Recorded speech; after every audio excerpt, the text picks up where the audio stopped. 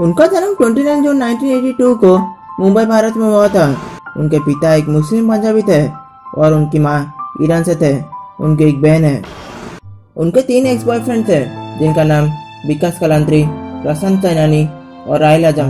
नौसिन ने Saint एलोसियस high school से अपनी पढ़ाई पूरे किए थे। नौसिन मुंबई के बांद्रा में एमएम के कॉलेज से कॉमर्स ग्रेजुएट है। नौसिन ने अपने करियर की शुरुआत 17 साल की उम्र में एक एंकर के रूप में किए थे। वो धारावाहिक कुसुम से प्रसिद्ध हुए थे। उन्होंने शो को छोड़ दिया, क्योंकि वो 23 साल की उम्र में एक माँ की भूमिका निभाना नहीं चाहते थे। उन्होंने कई फ़िल्मों और टीवी सीरियलों में भी सफलतापूर्वक काम किए हैं। फ़िलहाल उनकी किसी से शादी नहीं हुआ है।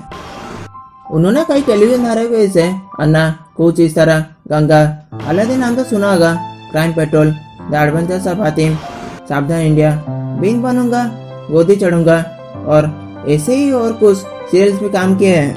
सरदार टेलीविज़न रियलिटी शो और संगीत एल्बम में भी दिखाई दिए हैं। वो उन भारतीय अभिनेत्रियों में से एक है, जिन्होंने पाकिस्तान फ़िल्मों में अभिनय किए हैं। 2020 में उन्होंने क्लास ऑफ़ 2020 के साथ अपनी पहली वेब सीरीज़ बनाए हैं।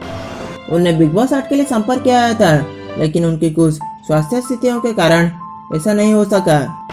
उन्होंने खालिद सिद्दीकी के सामने उल्ताब राजा के संगीत वीडियो पहले तो कभी कभी गम था में, दिखाई दिए हैं। उनका पहला फ़िल्म 2007 में एक हिंदी फ़िल्म एक दिन लौट के हुआ था। उन्होंने film three love life battle में मुख्य अभिनेत्री की भूमिका निभाया है। उन्हें फ़िल्म में आशीष चौधरी के साथ दिखाया था।